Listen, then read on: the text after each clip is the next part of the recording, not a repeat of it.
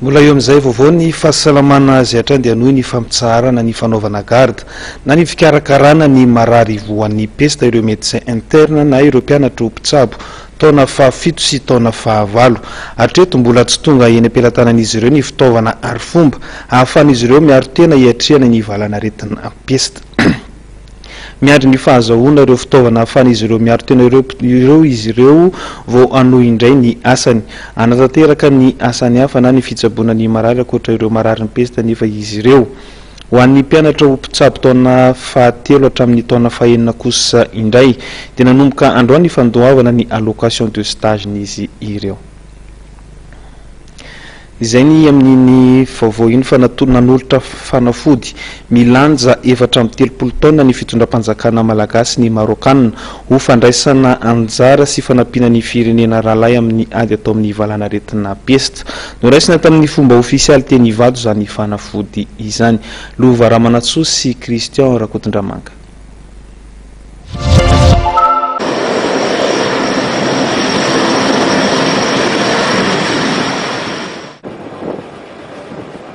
Fanafody milanja efatra amin'ny telopolo taona arahina fitaovana ara-pitsaboana sy akanjo fiarovana ho an'ireo mpiasan'ny fahasalamana. Natolotry ny fitondram-panjakana Marôkana amin'ny fitondram-panjakana Malagasy. Anjara biriky ny mpanjaka Mohamed VI amin'ny ady atao amin'ny valan'aretina pesta.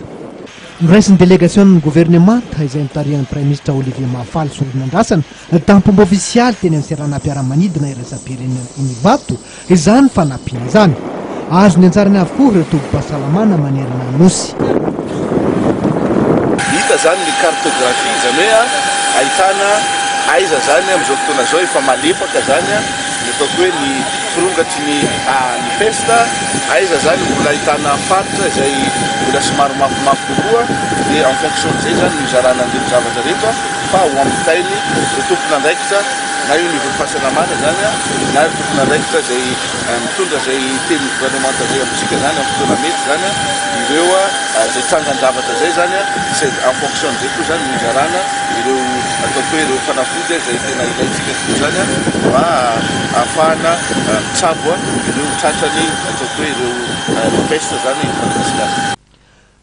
Nilaza kosa ny Masivoho Marôkana Andriamatoa Mohamed Ben Djilan, izay tonga teny Ivato ihany koa nanotrona ny lanonam-panolorana ireo fanafody.